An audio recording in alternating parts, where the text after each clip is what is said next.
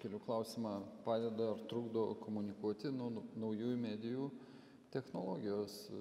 Kadangi truputį vėluojam tai pasistengsiu sutaupyti pranešimo sąskaita laiką. Tai klausimas toks kaip galima apibūdinti šiuolaikinę komunikaciją?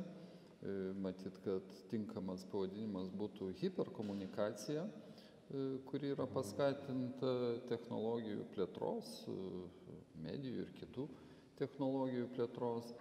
Ir čia turim situaciją kai turim naująsias medijas įvairias įskaitant internetą socialinius tinklus dėl televizijos galima ginčytis kiek čia ji nauja kiek sena ir turim taip pat senąsias medijas kurios nėra visiškai atmirusios. Turim įvairaus lygio simbiozes susiklojimus įvairias kombinacijas pavyzdžiui raštas juk nepamainomas yra į į įvairaus pobūdžio internetinėj komunikacijoj bet kaip ten bebūtų ypač prie tos hiperkomunikacijos prisidėjo socialinių tinklų plėtra plėtra raida.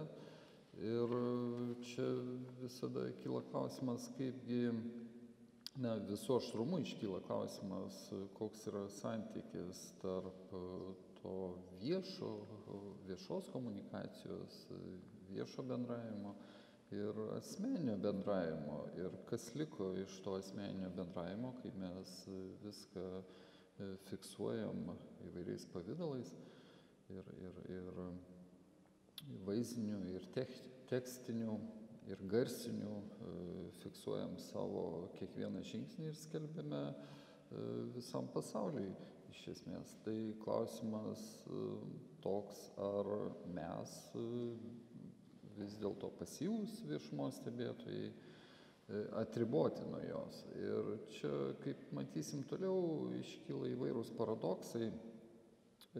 Vienas iš jų jau mano minėtas kad ta vieša komunikacija apvagia asmeninį bendravimą ir mes kuo kuo kuo daugiau kalbame apie hiperkomunikaciją tuo daugiau kalbam ir apie asmeninio bendravimo deficitą. Ir klausimas ar tai nėra tos pačios monetos dvi pusės. Čia galim prisiminti makliuono samprotavimus apie vėsį ir karštą medijas. Ir na čia matyt mintis čia įvairiai interpretuojama šita mintis makliuono bet matyt viena iš interpretacijų ta kad visi ta medija kuri mus mažai įtraukia kuri kurią mes stebime pasyviai o karšta medija kuri mus įtraukia kuri interaktyvi kaip dabar sakom ir kuri na į kurią mes patys esam įsitraukę. Tai čia puikus pavyzdys būtų gal socialiniai tinklai kurių dar nebuvo makliuono laikais. Tai klausimas toks ar medijos įskaitant socialinius tinklus kaip karščiausia jų atmaina ar nėra alibi vengiant asmeninio bendravimo? Ir ar nėra taip kad mes puolėme į tą socialinių tinklų mediją ir ir ir kitas medijas pasinaudodami proga pasitaikiusia išvengti asmeninio bendravimo. Ir klausimas kitas ar ar vis tik naujųjų medijų technologijos yra kaltos dėl to kad asmeninio bendravimo valiutos vertė nukrito? Tai čia atsiranda ir kitas momentas. Aš čia apskritai gal daugiau pateiksiu klausimų negu atsakymų. Gal paskui kiek laiko paliksiu padiskutuosim o jeigu nediskutuosim tai nieko tokio. Tai e, iškyla politiškumo klodas e, ir politiškumas, e, na, ten, kur viešumas, ten ir politiškumas, bent jau demokratijos sąlygomis. Ir, bet kita vertus, politiškumas e, turi ir kitą galios aspektą, apie kurį šnekėta e, akademiko Matulionio pranešime. E, čia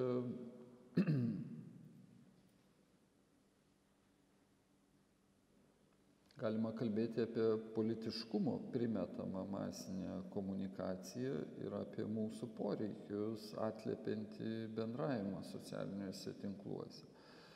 Ir kai Fliuseris kalbėjo apie įvairius medijų, Viljamas Fliuseris kalbėjo apie įvairius medijų tipus, jis dar nebuvo numatęs to vadinamojo korinio komunikacijos tipo, jis kalbėjo apie piramidinį, apie amfiteatrinį kaip televizija pavyzdžiui, apie įvairius hierarchinius santykius komunikacijai. Bet štai turime korinį komunikacijos tipą, kai mes dalinamės įvairiom, įvairiais pranešimais, skaitant vaizdinius ir garsinius, ir jie platinami vis kituose draugų ratuose. Ir čia, kaip minėta, iškyla anonimiškumo ir viešumo simbiozė. Viena vertus mes stengiamės viešintis ir, ir, ir kelti, viešinti savo kiekvieną žingsnį. Kita vertus, turime tą tokį anoniminę aplinką, anoniminę miesto aplinką, kai vienas su kitu nesisveikina kai ir, ir ji yra paranki mums. Ir mes patys tarsi paleidžiam žinutę į pasaulį, turėdami omeny, kad mes būsime atpažinti kaip kažkas, bet ne kaip tie asmenys, kuriuos mes save suvokiame. Turėdami omeny tą anonimiškumo terpę, tą didmešio anonimiškumo terpę arba globalaus pasaulio anonimiškumo terpę, kai mes galime pasislėpti galų galiau už savo žinučių. Tai čia vėlgi iškilo klausimas to tikrovės, ar kiek jos tikros tos žinutės ir kiek ne. Ir čia susidaro dar tokia situacija, kad mes tampame žiūrovai netgi tų scenų, kuriuose patys vaidiname. Atsirado tokia galimybė. Bet vėlgi klausimas tas pats tikrovės klausimas, kas mes tie, kurie vaidinam. Ar mes vis vaidinam naujus ir naujus vaidmenis ir kas yra tas mūsų tapatumas. Na, turbūt nėra tapatumo kažkokio stabilaus, tapatumas yra kūriamas ir nuolat keičiamas. Tai dabar klausimas kitas, ar nėra didžiausias socialinių tinklų pavojus tas, kad galiu tapti vienu iš jų, vienu iš tų vaidintojų, vienu iš tų daugybės bylojančių tuo pačiu balsu ir siekiančių kuo didesnių reitingų, vadinasi, siekiančių tuo, tų pačių, siekiančių tų pačių triukų ar naudojančių tos pačius triukus. Tai ar nėra taip, kad mes, kurdami savo, kad mums, kuriantiems savo tapatumą, didžiausia kliūtis ir yra mūsų viešumas socialiniuose tinkluose arba mūsų priklausimas jiems, arba mūsų ten karštas dalyvavimas. E, tai e, kitas dar klausimas, ar mes, ką, ar mes dar vis turim mokytis bendrauti ir kaip mes tai, tai turim išmokti padaryti, o gal atvirkščiai, gal mes turim išmokti nebendrauti, gal iškyla kaip tik pauzės, tylos reikšmė ir vertė. Ir klausimas, kaip išaldyti savo tinklininko, kabutėse, kapitalą, turiu omeny socialinius tinklus, kad vis tik bylotume savo balsu, o, o, o ne bylotume siekdami viską bilotume, bilotume siekdami e, didesnių reitingų ir didesnių karštesnės reakcijos, ar ne? Tai apie tą fenomeną jau prieš kelis dešimtmečius, turbūt prieš penkis dešimtmečius, prieš keturis, penkis dešimtmečius kalbėjo prancūzų sociologas Bourdieu, kai jis irgi dar tuo metu nebuvo socialinių tinklų, bet buvo televizija ir jos orientacija į reitingus. Ir Bourdieu tai vadino uh, reitinginiu mąstymu. Uh, tai galiausiai iškyla klausimas, iš, iškyla santykio tarp medijų ir technologijos uh, klausimas. Ar mes galime nevartoti medijų? Turbūt, kad negalime nevartoti medijų, nes dėl, galų gale dėl šios mizantropijos kentėtų ir mūsų asmeninis bendravimas. Ir klausimas, ar asmeninių bendravimų laikytinas ir bendravimas tarp sukčių, keikūnų ar patyčininkų, čia galima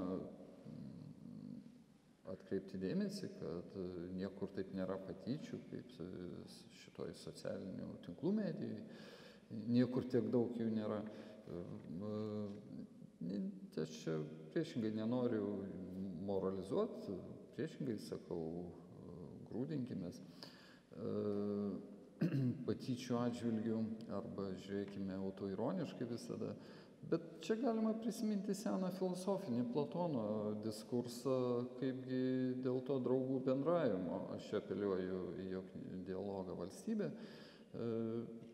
ten Platonas kalba apie tai, kad draugų bendravimas tai dalymasis gėrio, grožio ir teisingumo idėjomis. Ir čia pat galima prisiminti ir Platono mokinį Aristotelį, kuris kalbėjo apie tai, kad na, nedora elgsena niekaip negali suteikti laimės. Tai yra viena iš trijų laimės sąlygų, tai yra dora elgsena. Tai sukčiavimo nepriskirsim prie doros elgsenos ar, ar, ar kažko panašaus. Ir galiausiai iškyla klausimas apie sistemą sistemą, ar mes čia galima kalbėti apie sistemą, apie, aš turiu omeny tai, kad mes visi dalyvaudami na, tose medijų technologijose, dalyvaudami, kurios iš esmės pačios nėra blogos, tai, tai mes jas tokias padarėm. Ir galbūt tos fobijos tikrai nepagristos, kaip Edvardas sakė, arba jas galima, reikėtų aiškinti psichoanalitiškai ieškant mumise, matyt, mūsų vaikystės traumų kažkokių, ar ne? Kai, kai vieni iš kitų tyčiodavomės, ar ne? Dabar gal mes bandom kompensuoti. Bet klausimas apie sistemą. Jeigu mes dalyvaujame tam tuose tinkluose, ar, ar, tai, ar apie tai galima kalbėti kaip apie sistemą, kuri siekia nuskenuoti, kabutėse, privatumo likučius ir ar šitos sistemos požiūrių bet koks asmeninis bendravimas nėra sukčiavimas siekiant nuslėpti nuo viešumos galimą sąmokslą. Tai aš šitą mintim ir pabaigsiu savo pranešimą. Tikiuosi kažkiek sutaupiau laiko, bet pabaigai dar aš čia parodysiu vaizdelį vieną, kurį pavadinau medijų paskutinė vakarienė. Čia įvairius galim atpažinti įvairias nuorodas. Nuoroda, žinoma, Leonardo da Vinci, bet tai nėra Leonardo da Vinci, tai yra Lešapelio fotografija kurie jisai, šitos fotografijos pavadinimas kitoks, čia mano parafrazė, čia yra visokie patalpinti, na, garsus šaumenai šitoj paskutiniai vakarieniai, nežinau, gal kas ką nors atpažįsta, bet dar, dar aš noriu priminti, kad Laš, Lašapelį daug diskusijų apie jo fotografijas yra, kad tai yra kičas ar panašiai, bet taip pat dar noriu priminti, kad jo kad galima apeliuoti jo lietuvišką kilmę, nes jo buvo motina lietuvė. O šiaip vienas garsiausių šių dienų fotografų yra. Tai ačiū uždėmesi. Dėkojame. Na, aš manau, kad tikrai turime laiko bent vienam klausimui.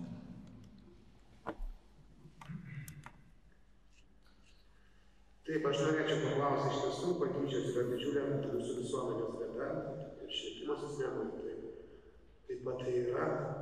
Bet aš norėčiau jūsų paklausti, yra mano supratimu pakankamai slidi riba tarp ironijos ir patyčių. Ar galėtumėt pamėginti apibrėžti, kuo skirtųsi ironija nuo patyčių ir kaip ją atskirti iš viso? Nes galim sakyti, pavyzdžiui, švietimo sistemoje studentas taip pat ateiti ir pareiškti, kad iš, iš manęs tyčiojasi, nors, pavyzdžiui, dėstytojas galbūt ironija reikia, taip? Ar sutiktumėte? Mm. Tai ačiū tautvedai už klausimą. Iš tikrųjų labai aktuali tema yra patyčios. Ne, aš apibrėžimų tai negalėčiau pateikti vien dėl to, kad tai yra individualus kiekvienas atvejis. E, Kiekvienu atveju mes turim bandyti e, nusakyti, ar tai yra ironija, ar tai yra patyčios, nes tai, na, tai visiškai neatsiema nuo konteksto. Tai yra, kai, kai mes e, turim du žmonės, kurie komunikuoja tokiu būdu, ne?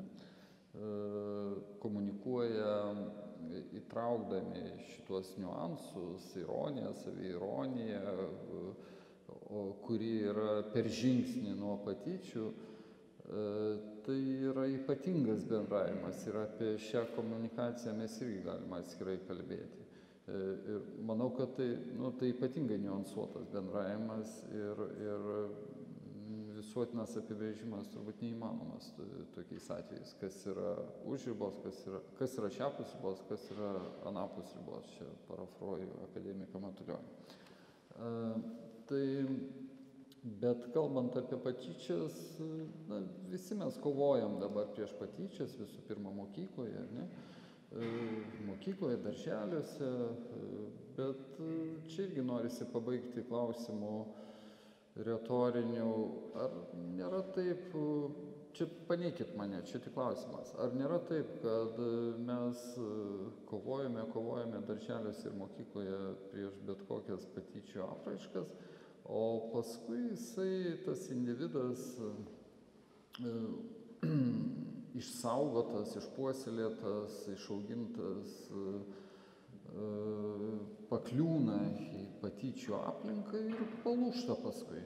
Tai tokiu būdu neužgrūdintas ironijos ir patyčių niuansų.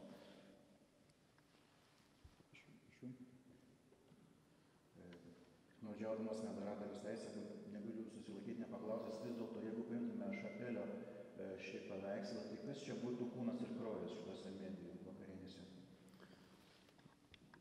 O, taip, tai mm, čia mane užklopai, Edvardai. Na, matyt, kad mm, interpretuočiau pagal savo tą parafrazinį pavadinimą. Tai matyt, kad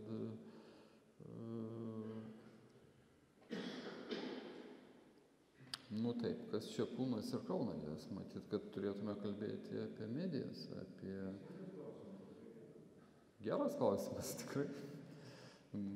Matyt, kad turėtume kalbėti apie medijas, kurias mes valgome, kurias mes vartojame, bet e, kurios taip pat yra ir mūsų kūnas.